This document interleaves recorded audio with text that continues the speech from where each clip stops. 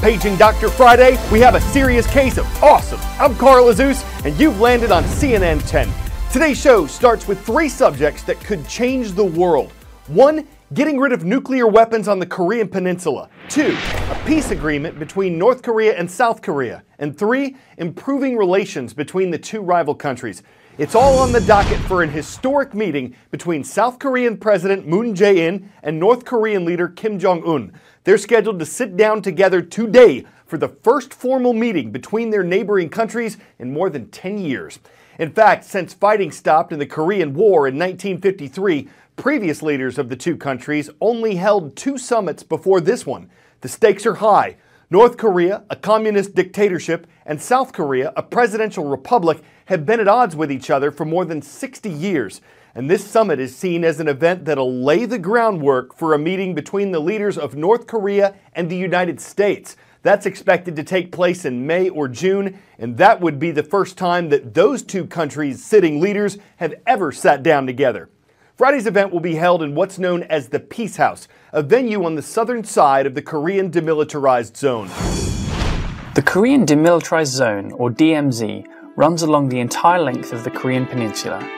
Set up in 1953, it separates North and South Korea by a two and a half mile wide strip of land. It's also an unlikely place to find contemporary art. This is the Yeongang Art Gallery. It's located in Yeoncheon County, South Korea, near the heavily fortified DMZ. 아, 그래서 폐 공장을 활용을 해서 새로운 문화 콘텐츠를 구축하기 위해서 이쪽에 영광 갤러리라는 문화 공간을 만들게 됐습니다. The gallery exhibits art from around the world and serves as a concert venue.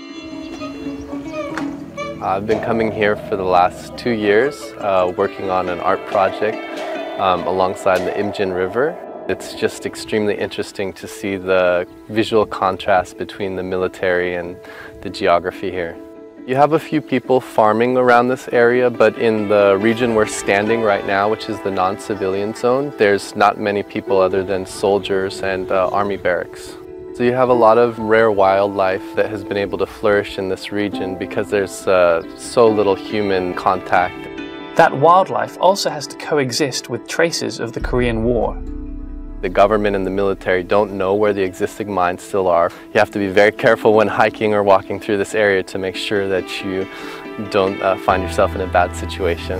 But for some local farmers, this area feels far from dangerous. Cho Moon-gil has lived here for 30 years. 고향 노인네들 고향도 여기고 조상들이 여기 또 다 계시고 산소가 선산이 밖에보다 제일 조용해요 여기가 불안한 건 서울 쪽이 더 불안하죠 여긴 지들 코앞인데 어떻게 때려요 그건 못 때리죠 여기가 제일 안전해요 예.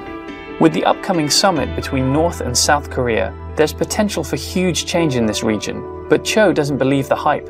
그냥 대치 상황이니까 거기에 대한 뭐 서로가 어떤 그 느낌이라든가 그런 건뭐 걔들 논의하는 얘기가 그거고 우리 하는 얘기가 정권 바뀌면 논의 그 얘기 그래서 별로 그렇게 관심은 없어요. Those involved in Yongan Gallery are more hopeful, however. 아, 아주 큰 기대를 걸고 있습니다. 특히 연천군은 한반도, 아니 우리 그 한반도의 중심이기 때문에 남북 평화 무드에 따라서 크게 발전을 하고 또 경제 발전뿐만이 아니라 각종 문화 발전도 크게 기대되기 때문에 The walls of the gallery have 16 plaques carrying messages from embassies all over the world. 지금 전 세계 각국에서 저희가 메시지를 받아서 이 공간이 세계적인 평화의 공간으로 육성될 수 있도록 노력할 계획입니다. If art can act in some form or way as a beginning or a talking point to these discussions of peace or discussions of even commonality, that at least in some small way it does its part.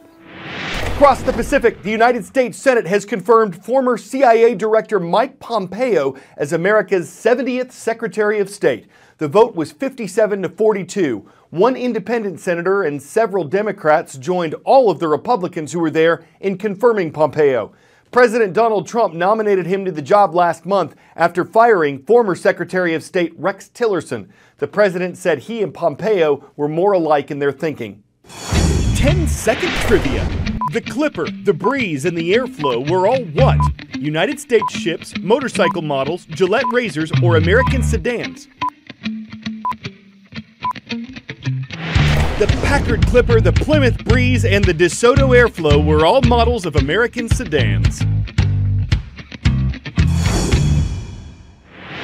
None of those makers or models is still in production today. In fact, the American sedan as we know it may be going the way of the dodo. The sedan, a two or four door car that can seat at least four people, has been a fixture on American roads for almost a century. And it should continue to be under models like the Honda Accord or Toyota Camry.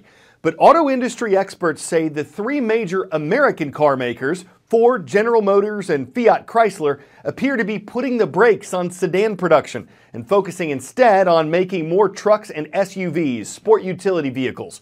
General Motors has reduced the number of Chevy, Buick, and Cadillac sedans it's making. Chrysler has stopped manufacturing the Dodge Dart and Chrysler 200. And Ford plans to make more SUVs and trucks in America, but to stop selling all of its passenger car models here, except for the Mustang and a new model called the Ford Focus Active. In sales, SUVs first passed sedans in 2015. The larger vehicles have more space, their gas mileage has been improving, and experts say the American manufacturers can make more money on them than the classic sedan. And without Mr. McGregor, Elmer Fudd, or any natural predators, nothing bugs them. They haven't a hair in the world. Maybe they keep an ear out for approaching tourists, if they care at all, but they seem to have no problem getting their needs met, spending their leporine days and nights pelleting around a veritable garden of peace. I'm Carl Azuz, and that's all, folks, for CNN 10.